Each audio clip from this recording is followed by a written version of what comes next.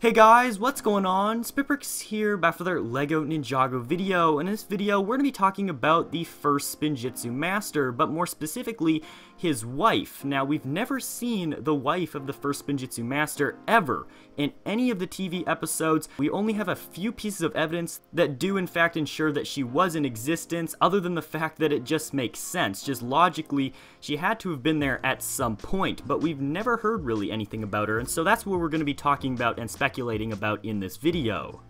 So throughout all the different episodes of Ninjago, we've been able to collect a lot of information on the first Spinjitzu Master, but hardly anything on his wife.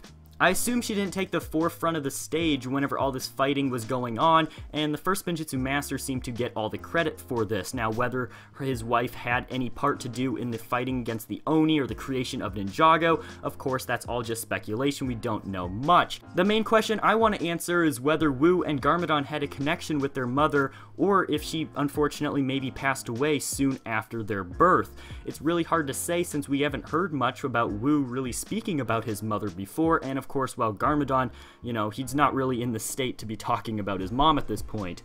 Nonetheless, it's very important to remember that Garmadon is the older brother, and thus he most likely had more time with his mother and may have had a deeper connection with her, or at least more memories associated with her. But before we go any further, let's go ahead and check out the confirmed evidence that we have regarding the first Spinjitzu Master's wife. We should turn our attention to this book that was released in 2017. You can actually buy it. It's the Book of Spinjitzu, and inside there's a lot of pages basically with Sensei Wu's writing and different notes he's taken and his wisdom behind Spinjitzu, Ninjago, and all that good stuff.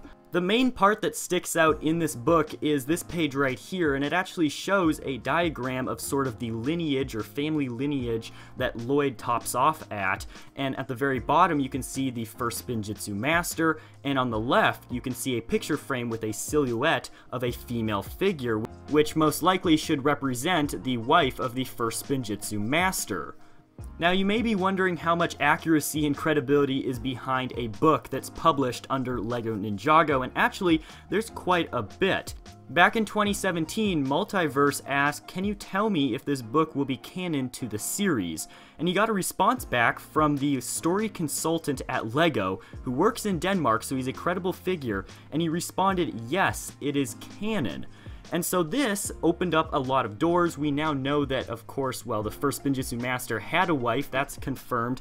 Of course, that backs up our logic with it. Since Ninjago, after all, is a fictitious world, one may assume that the first Spinjitzu Master simply just created both of his sons. I mean, he has the power of creation.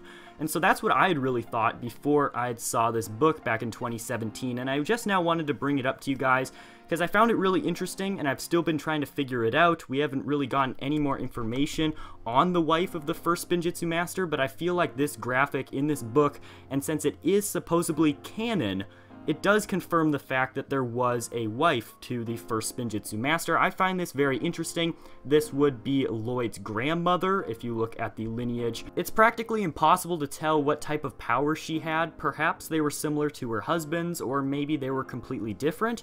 I would assume that she had some sort of elemental powers, but perhaps she didn't. Really, it's all up to speculation at this point.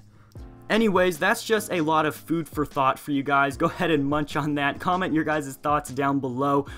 Personally, in my thoughts, I believe that the creators of Ninjago and developers really just didn't take much time to focus on the wife aspect of the first Spinjitzu Master, and thus are probably going to not include much information, unfortunately, in the series to come, or the seasons to come, I should say, but we can always hope, and of course, I'm still looking for a first Spinjitzu Master minifigure. Hopefully, we can get that in the coming years. I really want to get my hands on one of those minifigures, but like I said, that's going to wrap it up for today's video. Hope you guys did enjoy this sort of speculation video. Be sure to let me know your guys' thoughts down below. If you guys have any speculation or theories or any ideas based on the wife of the first Spinjitzu Master. If you did enjoy, be sure to drop a thumbs up rating down below, and I'll see you guys in the next video coming very soon.